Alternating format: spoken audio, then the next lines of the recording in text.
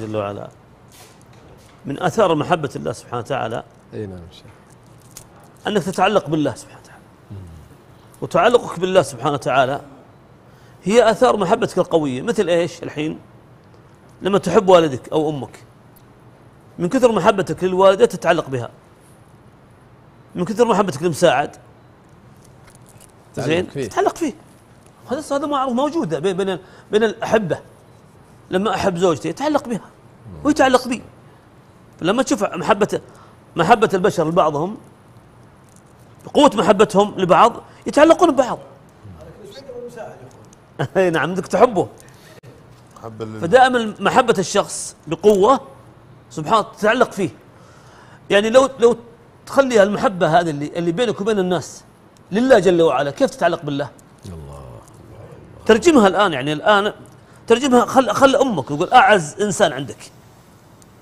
لما تحب الوالدة محبة قوية ما تتعلق بها والوالدة؟ الله أكبر. لو تناديك في آخر الليل تقوم. الله جل وعلا يناديك متى؟ في الصلوات. الفجر يناديك. الله أكبر. حي على الصلاة. حي على الفلاح. أين المحبة؟ وش وين المحبة؟ أمك تناديك أبوك يناديك زوجتك مثلا ولدك مثلا. تحبهم تقدم لهم أبشروا.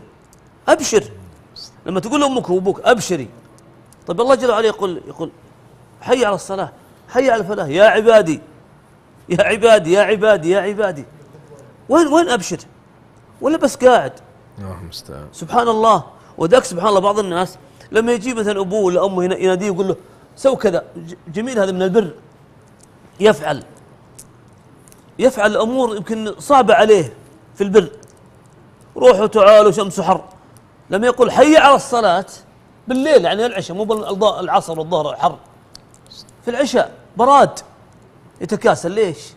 وين محبة الله؟ صارت محبة الوالدة أعظم من محبة الله جل وعلا. لانك لأنك أنت الآن ما ترجمت هذه المحبة بعمل. فاجعل محبتك بين البشر قوته اجعل محبة الله أقوى من البشر. عشان تعلق بالله جل وعلا بقوة. ولو أنك تحب الله بقوة بقوة. تعلقت فيه اللي تعلق بالله جل وعلا ويحبه دائما يذكره. الله يقولون يقول السلف من أحب شيئا أكثر من ذكره.